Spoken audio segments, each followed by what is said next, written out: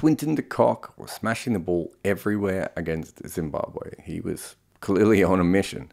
South Africa weren't really fighting their fellow African nation. They had already destroyed them. They were just trying to beat the Hobart weather.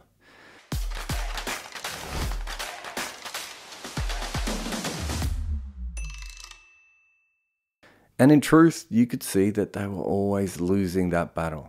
This game probably shouldn't have gone ahead. No World Cup match should be played in conditions this wet.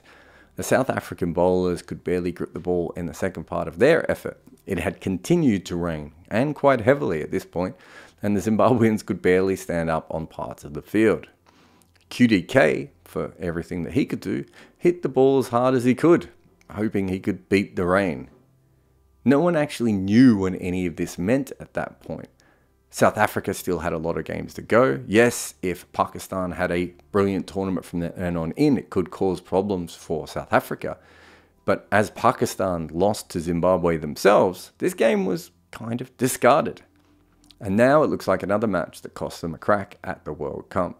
The umpires did try and push this result far beyond where they ever should have. The ICC clearly wanted a result as much as South Africa did.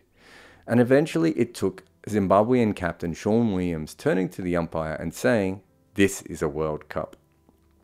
That was enough to eventually make the umpires realize that this was just not fit conditions. It was not a game that should ever have gone ahead. You could almost argue it maybe never should have started. But that comment means something else as well. For South Africans, it's almost spine chilling. South Africa were actually part of the reason that the ICC exists. In order to have a triangular tournament between England, Australia, and South Africa, they formed the Imperial Cricket Conference, or as we now call it, the International Cricket Council. They were terrible in that first ICC event. They had two 10 wicket losses and also two that they lost by an innings. There was one match where they did a little bit better. Against Australia, they managed 329 the South Africans on what was a soaking wet pitch. The following day, they dismissed them for 219 runs, giving themselves a healthy lead. The third and final day, not a single ball was delivered because there was rain. We think about South Africa's bad form and luck in World Cups starting in 1992. No, you have to go back to 1912 to see where this all began. But 1992 was, of course, something else. South Africa were chasing an improbable total of 22 runs after final 13 deliveries in the World Cup semi final against England. They had been a little bit behind the rate for quite some time, but the partnership at the crease of Brian McMillan and Dave Richardson had already scored 25 from 18. However, 22 from 13 that was required was still big cricket money. When they came back out, however, after the rain break, they needed 22 runs still. Now it was off a single ball. It was made even more bizarre by the fact that South Africa had to go out and face that ball anyway, with the new equation slapped up on the screen. This actually would help change the playing conditions of cricket, and it's really what led to us starting to use the Duckworth Lewis method.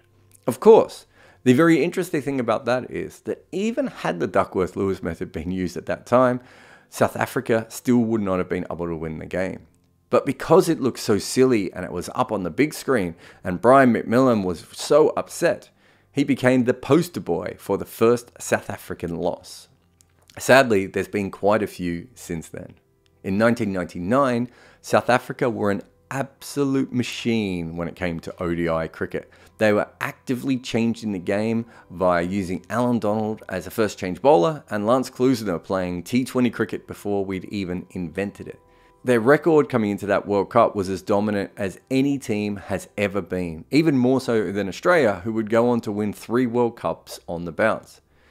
And it was Klusener who was smashing Australia all around that World Cup semi final. And it was Australia who was panicking and choking all over the place until South Africa got the scores level and they needed one more run to win. And for some reason, Klusener suddenly changed the way he was batting.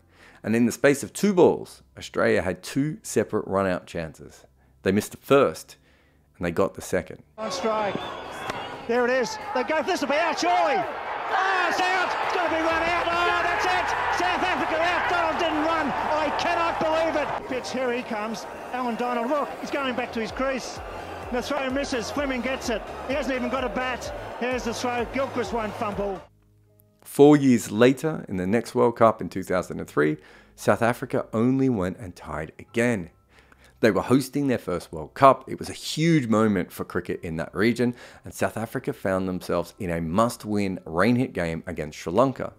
There was a lot of pressure. If you don't believe me, here is Kumar Sangakkara explaining just how much pressure there was. Oh, lots of pressure here for the skippy, eh?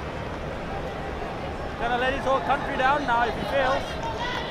Oh, lots of expectations, fellas. Come on. Oh man, the weight of all these expectations, fellas.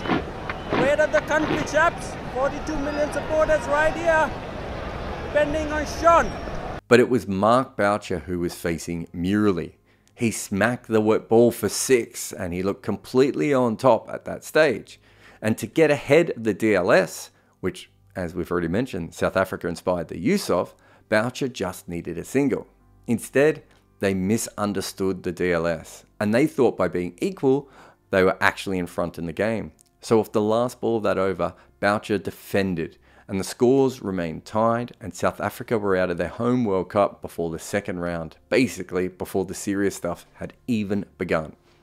In the quarterfinals of the 1996 World Cup, they dropped Allan Donald for their spinner Paul Adams. Brian Lara absolutely destroyed them, while their best bowler sat on and could only watch. Lara particularly went after Adams, who wasn't quick enough through the air and allowed Lara to just get on top of him.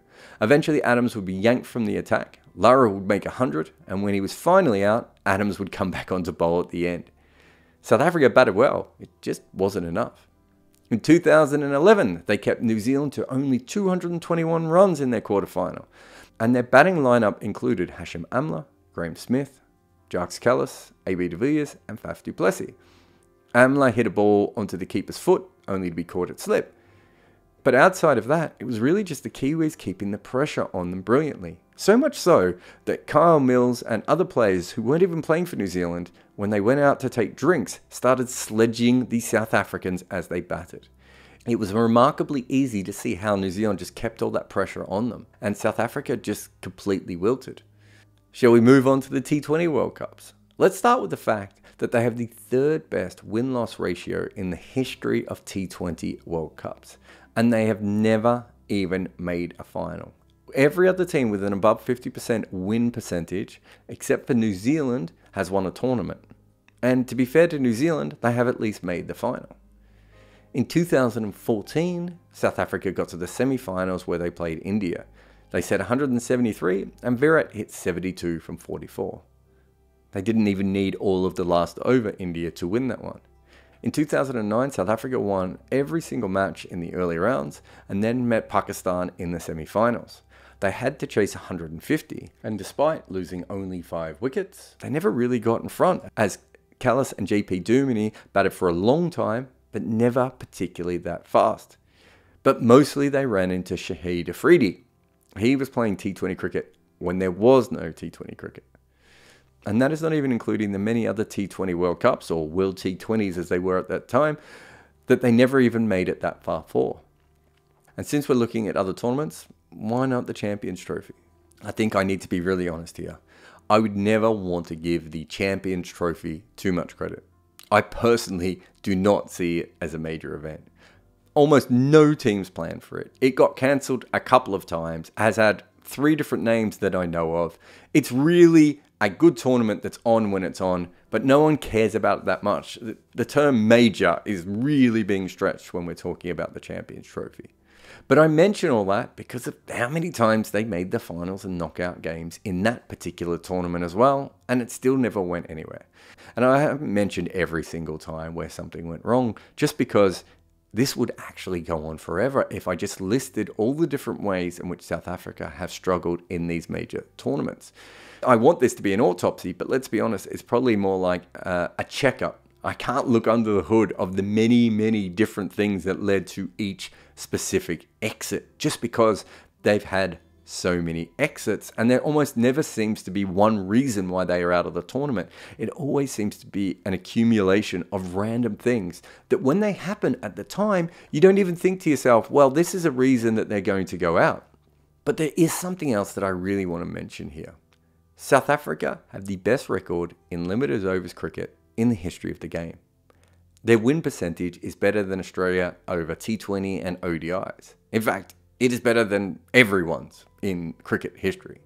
If you look at ODI cricket, there is not a team with a better than 50% win record against them. They just roll through bilateral cricket like white ball Godzilla. The minute the ICC slaps a logo or something on the front of a tournament, South Africa completely fall apart. And if you want proof of this, well, here's the strongest thing I can give. The South Africans have won a single major multi team event. I think it's major. Well, we're going to throw it in for now anyway.